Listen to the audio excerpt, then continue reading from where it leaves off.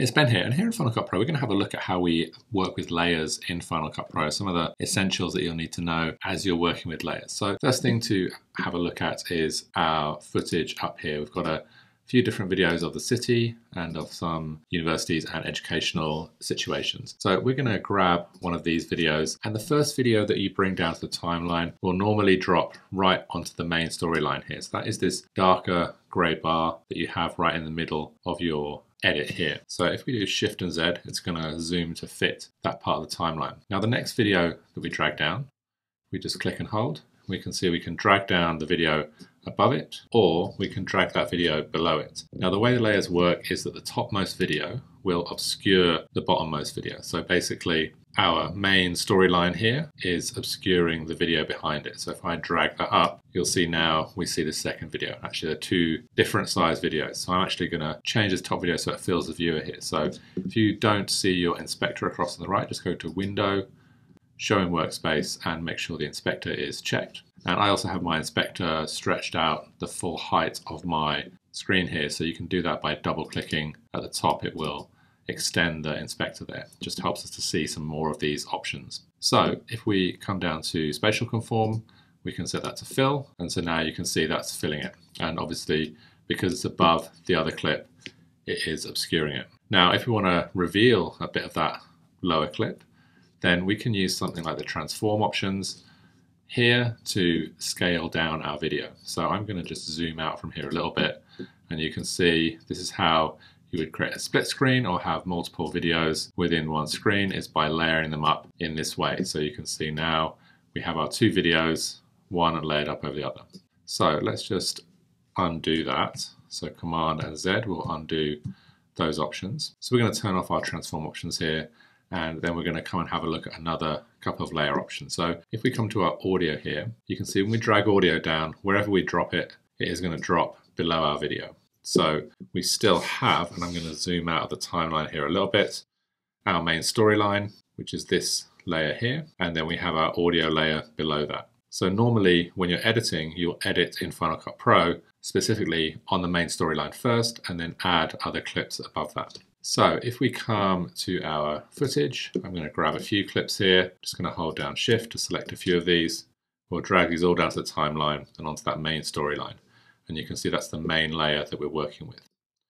So one other feature of layers as well is that we can actually group layers together on another piece of our storyline. So if we take a few clips here, drag those down to the timeline, and I'm going to do Shift and Z again just to get everything to fit, then you can see these layers are kind of all independent layers on that second storyline. So as I drag them around, they're going to bump up and down um, all independently. So if, for instance, we wanted those to move together on that second layer, then essentially we can group those into a connected storyline. So if I select all of these clips, and then I'm going to come to Clip and Create Storyline, or Command and G and that is going to group all those clips together. You can see now I've got this grey box around all those clips and I've also got where there were gaps before these placeholder slugs or gap clips that we can modify and edit. So if I want to move these clips so they're touching each other, then I would delete the gap clip here and here. And so now all of these clips are connected on this storyline. So I can move them all together or I can drag them out of that storyline. And you can see when I do that and drag a video out, the other three videos snap together. So we'll undo that. And the same will happen when we're using the selection tool and we are shortening or lengthening clips that we have. It will affect all the clips within that storyline that we have selected there, just as it does for the storyline on the main timeline. Now, there's a couple of things to note when you're working with layers here. And the first one is that the layer is connected to that main storyline at the point where you see this line popping out from below that. So as I'm moving this, you can see the point at which it's connected to that main storyline is changing. So this means a couple of things. The first one is if we select here and press delete, because that connected storyline was connected at that particular clip that we deleted, it's actually going to delete that clip as well. So this can be somewhere where you can come a little bit unstuck. In order to get around that, if I want to delete this clip, then I can either click on that clip and press forward delete, which will delete the clip but still leave the, the gap there, or I can change where this clip is connected. So it's connected right at the beginning here. If I move ahead in time and hold down Option and Command and click here, it's going to actually move that connection to where I had my playhead. So you can see if I bring my playhead here, select my connect storyline, hold down Option and Command, it's now connecting it to a different point in the timeline. We can just see it when we move that around. So if I delete that first clip again, because it's not connected at that point, it's going to allow me to delete that. So a few things to note about layers there. If we create another layer, so for instance, say a title layer, we'll come up to our titles and generators, and we'll grab a basic build in and out title, and we're going to grab this assembler title. So we'll drag this down to the timeline. I'm just going to stretch it out a little bit so it assembles over a bit more time. And as I play this back, I'm just going to disable the audio here by tapping V. And you can see now if we play this through, then as that type assembles, it's assembling over the top of this topmost layer, which is not showing the background layer. So again, we've got those layers stacked from top to bottom where the topmost layer is obscuring the layers below. So we have a few different types of layers there. We have our audio layer, we have our video layers, and we have our type layer on top. There's a few other ways in which we can blend these as well. So I'm just going to set this to fit. So First thing is we can add some opacity to these different layers so they blend together. So if we come to our video options up here for this middle layer, this middle video layer, then we can modify the opacity which is going to allow it to blend with that layer in the background. And actually you can see this video is not quite filling that there, so I'm going to change that again to fill. So you can see the blend is happening from top to bottom where this topmost layer of the city is blending with the video of the people in the background. We can also use some other blend options as well. So if you're familiar with Photoshop, you'll recognize some of these subtract or darken options where we're really blending in a specific way the foreground image with the background image. And you can get some nice effects when you do this.